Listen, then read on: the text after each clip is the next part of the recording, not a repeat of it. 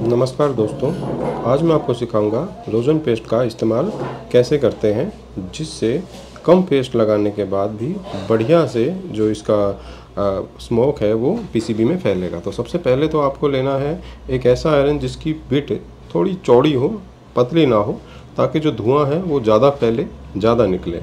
उसके बाद आपको करना है टेम्परेचर ज़्यादा हाई मतलब हाई टेम्परेचर पे बढ़िया काम करेगा। उसके बाद आप जब रोज़र पेस्ट का इस्तेमाल करेंगे तो कम पेस्ट खर्च होने के बाद अधिक से अधिक धुआँ, अधिक से अधिक स्मोक आईसीओ पे लग जाएगा।